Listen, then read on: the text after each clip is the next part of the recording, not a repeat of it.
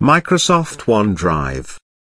Presented by Zero to ProTraining.com. In this video, we will talk about Microsoft OneDrive. It is an online storage service from Microsoft. OneDrive was formerly known as SkyDrive. Windows 8 and 8.1 comes with OneDrive built into the operating system. The built-in drive shows up in the File Explorer, where you see all the files sitting on the hard drive. The OneDrive is available for all via web.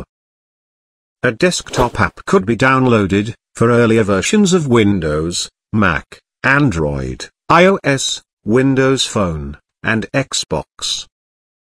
Any kind of files could be stored on OneDrive. Examples are photos, videos, and documents. Once the file is uploaded, it could be accessed from computers or mobile devices. The files are organized by file types, so that they are easy to find. OneDrive is tightly integrated with Microsoft Office applications. For example, Microsoft Word and Microsoft PowerPoint. When the Office applications are launched, you can see list of recent documents, including the ones located on OneDrive. If document saved on OneDrive is opened via Office 365, then you can collaborate on it with others in real time. The changes being made by others are visible in real time. Microsoft has recently updated its Android app. Now photos are automatically uploaded to OneDrive.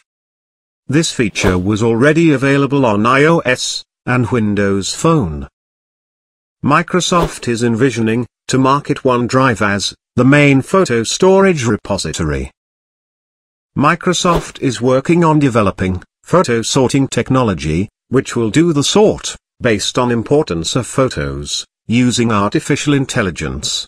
This is the direction where Microsoft is heading.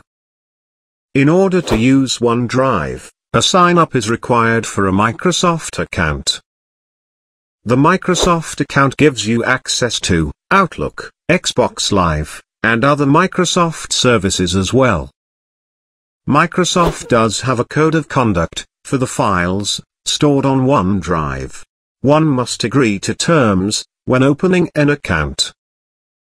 OneDrive offers 7 GB of free storage. It restricts file size to 2 GB. You can get extra 50 GB for $25 per year, up to 200 GB. You can also earn free storage using referrals program. It supports following operating systems. Windows, Mac, Android, and iOS. Here is a quick summary again. Please also watch our videos on other storage services as well. Thank you for watching.